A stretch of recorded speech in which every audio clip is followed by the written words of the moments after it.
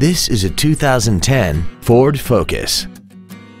This car has a four-speed automatic transmission and an inline four-cylinder engine. Its top features include air conditioning, cruise control, alloy wheels, a rear spoiler, the AdvanceTrac stability control system, dual airbags, and this vehicle has less than 33,000 miles. Contact us today to arrange your test drive. Waxahachie Autoplex is located at 1800 West US Highway 287 Bypass in Waxahachie. Our goal is to exceed all of your expectations to ensure that you'll return for future visits.